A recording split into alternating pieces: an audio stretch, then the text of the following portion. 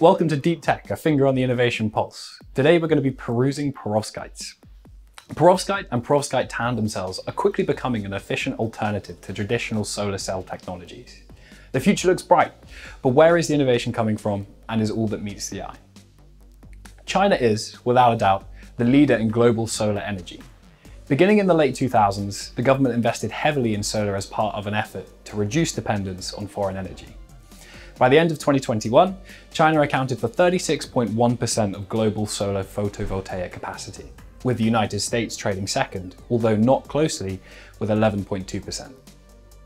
And this isn't slowing, with China planning to add 90 gigawatts of solar power year over year until 2025. China's dominance in the photovoltaic patent ecosystem is easily explained by analysing compounding governmental incentives through the combination of incentivized patent filing, alongside the large initiatives around the support of renewable energy by the government, uh, capital barriers related to the research and development of solar technology in China are less extensive than elsewhere. However, patent filing trends only tell a fraction of the story. Governmental incentives often paint a false picture of innovations, especially when we analyse patent filing trends in a vacuum. While China is the leader in both patent filings and solar capacity, this chart would seem to indicate that it isn't the home of influential expertise and development. To understand this discrepancy, let's analyse the academic and corporate entities leading the way. As this graph illustrates, Fujifilm is the leader in this space. Interestingly, there isn't a single Chinese company in the top 10, even though they dominate in patent filing volume. This phenomenon ties back to the false picture of innovation we alluded to previously. Patent filing trends alone do not take any account of the quality of those patents. By overlaying patent key performance indicators such as patent valuation and citations, we begin to unravel this mystery.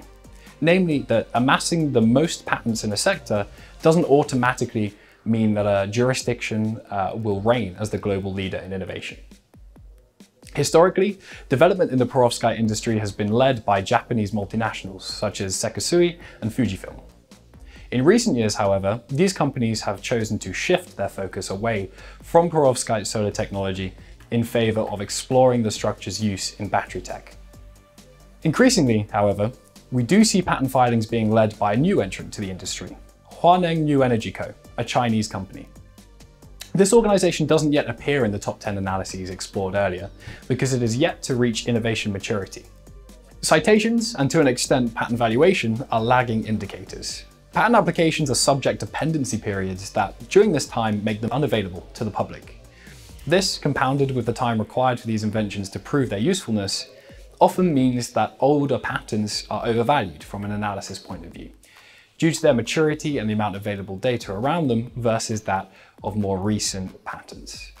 Rather than reinventing the wheel, innovation within uh, patents typically centers on incremental improvements to existing technologies.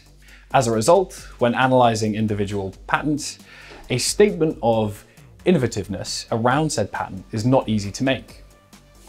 And this just highlights how important it is to take a holistic innovation intelligence based approach when analyzing your competitors. As, like we have seen today with the perovskite industry, relying on a single data point might mean that you miss the bigger picture.